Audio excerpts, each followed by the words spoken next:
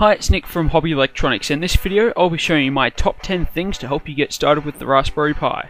To begin with, you'll be needing a Raspberry Pi, an SD card 2GB or larger in size, a case, some jumper wires, a GPIO breakout board, a micro USB cable, a powered USB hub complete with cables, and a USB power supply. The Raspberry Pi that I have here is the Model B with 512MB of RAM.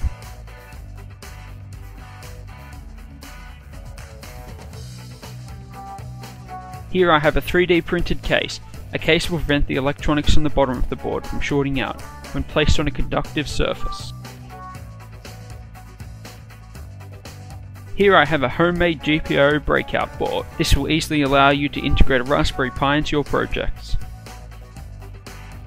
The Raspberry Pi Foundation recommend a USB charger that outputs 750 mA or higher at 5 volts. Here I have a micro USB cable.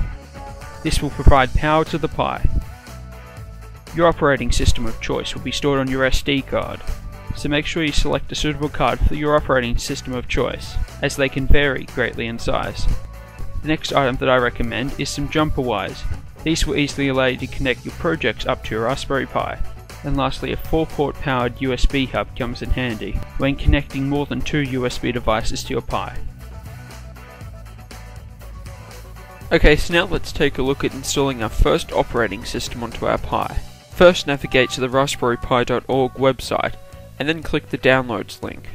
Once on the downloads page, scroll down to the Raspbian section and click on image. Then just wait for the download to finish. Next, download Win32 Disk Imager.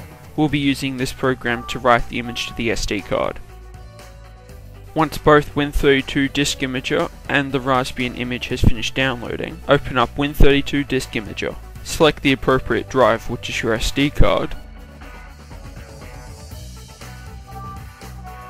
and then select the image.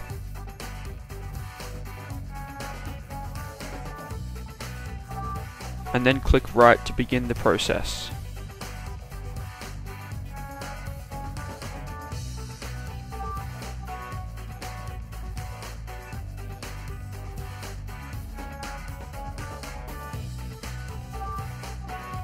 Once finished, insert your SD card into your Pi.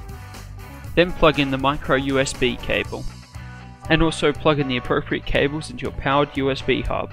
Then plug in your HDMI cable or composite video cable.